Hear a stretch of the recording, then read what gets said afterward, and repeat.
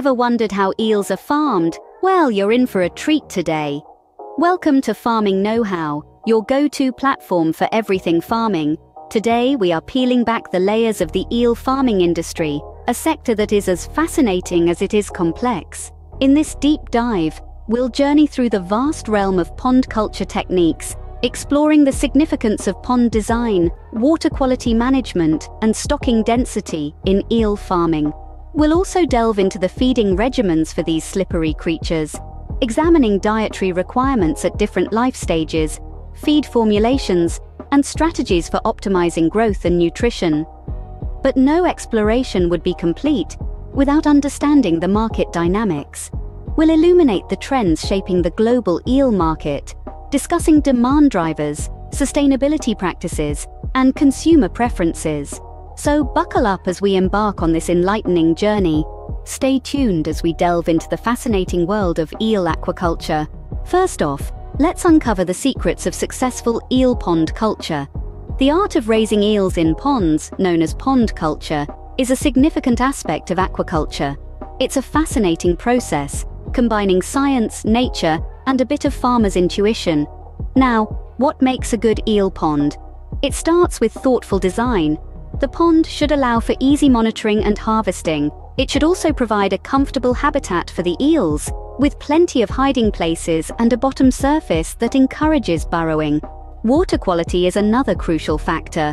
Eels thrive in clean, well-oxygenated water with a stable temperature. Regular testing is needed to maintain optimal water conditions and promptly address any issues. It's all about creating an environment that mimics the eel's natural habitat as closely as possible. Then there's stocking density. This refers to the number of eels you put in your pond. It's a delicate balance. Too few, and you're not maximizing your pond's potential. Too many, and the eels might not grow as well. Or worse, they might get sick.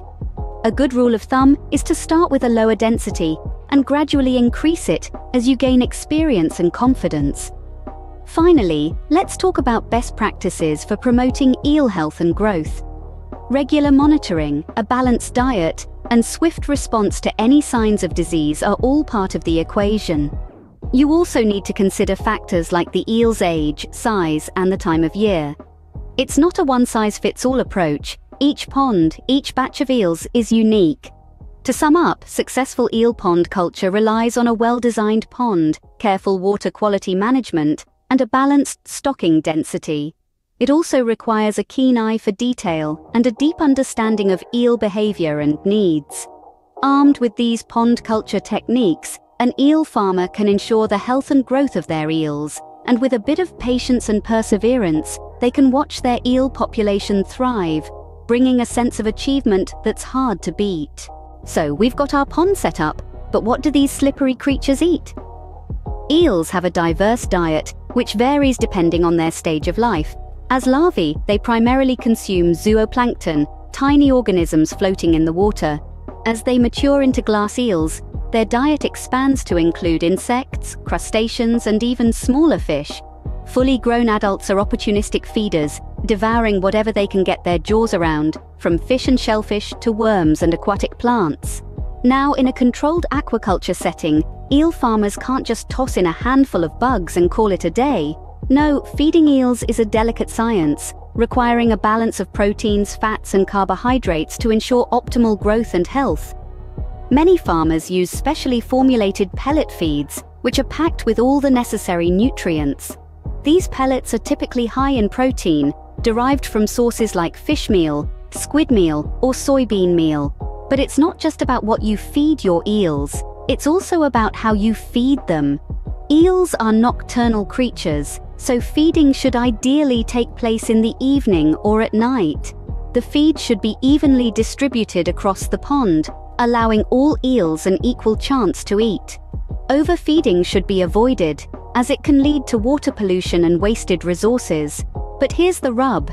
Eels aren't the most efficient eaters. In fact, they have a relatively low feed conversion ratio, meaning they need to consume a lot of food to gain just a little weight. This inefficiency can be a challenge for eel farmers, who must balance the cost of feeding with the potential profits from selling their grown eels. Furthermore, the environmental impact of eel farming cannot be overlooked. Excess feed and eel waste can contribute to water pollution, which can harm other aquatic life and degrade the overall quality of the pond.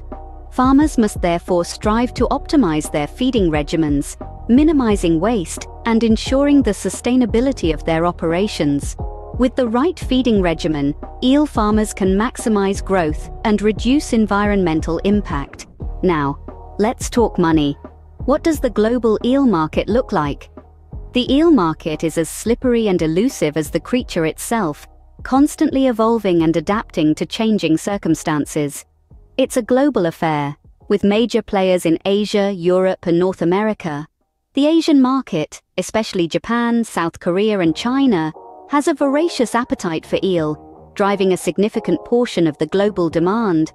Europe, on the other hand, is a major producer, with countries like Denmark and the Netherlands leading in sustainable eel farming practices. North America, while a smaller player, is catching up, with growing interest in eel aquaculture. Emerging trends in the eel market are largely driven by sustainability and consumer preferences. There's a growing demand for eels that are farmed using eco-friendly practices. This is a reaction to the overfishing of wild eels and the resulting ecological imbalance. Consumers are becoming more conscious of their impact on the environment, and this is reflected in their buying habits. Moreover, there's a shift towards preference for quality over quantity. Consumers are willing to pay a premium for eels that are farmed in optimal conditions, resulting in a superior taste and texture. This trend is pushing eel farmers to upgrade their farming practices, focusing more on the health and well-being of their eels. In terms of market dynamics, there's a lot of potential for growth.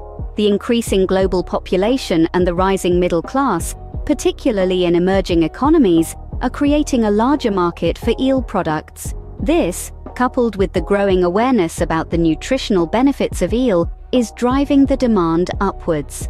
Potential opportunities for eel farmers are plenty. Those who can adapt to the changing market dynamics, adopt sustainable farming practices, and cater to the evolving consumer preferences stand to gain the most.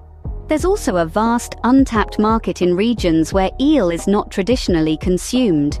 With the right marketing strategies, these regions can be turned into lucrative markets.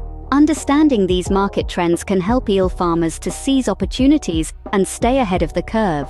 So, we've covered a lot of ground today. Our journey into the world of eel aquaculture has been filled with fascinating insights and revelations. We've seen how pond culture techniques form the bedrock of successful eel farming, with elements such as pond design, water quality management, and stocking density playing pivotal roles. It's clear that creating an optimal environment for eel growth and health isn't an art, it's a science. We've also delved into the specifics of feeding regimens for eels at different life stages. This isn't just about providing sustenance, it's about maximizing growth and nutrition, balancing feed conversion efficiency, and mitigating environmental impact. The right feeding strategy can make a world of difference in eel farming. And of course, we've looked at the market trends shaping the eel aquaculture industry. We've seen the drivers behind the global eel market and emerging trends like sustainable aquaculture practices and consumer preferences. The market is dynamic, filled with opportunities for those ready to seize them. But remember, knowledge is power. The more you understand about eel aquaculture, the better equipped you are to navigate its challenges and reap its rewards. So keep learning, keep exploring, and keep pushing the boundaries of what's possible in your eel farming endeavors. Before we wrap up, here's a quick recap. Eel farming is a multidimensional discipline, encompassing pond culture techniques, precise feeding regimens, and an understanding of market trends. Each of these aspects is a cog in the wheel of successful eel aquaculture, and mastering them is key to making your mark in this industry. So whether you're an experienced eel farmer or a newbie to the scene, we hope you found this deep dive into eel aquaculture enlightening. But this is just the tip of the iceberg. There's so much more to discover, so much more to learn. Remember, with the right knowledge and techniques, you can make a splash in the eel farming industry. We hope you've enjoyed this deep dive into eel farming. You're now equipped with a wealth of knowledge on pond culture techniques, feeding regimens, and market trends, all crucial to the eel aquaculture industry. If you found this information valuable, show us some love by hitting that like button. It really makes a difference. Also, don't forget to subscribe to our channel, Farming Know-How. We consistently bring you the latest insights and innovative techniques in the farming industry. By subscribing, you'll always be in the loop for our future content. And we're not just interested in sharing our knowledge, we want to hear from you too. If you have experiences with eel farming, or if you have any questions, drop a comment below. We love to see our community engaging and learning from each other. Thank you for joining our exploration of eel farming. Until next time, happy farming!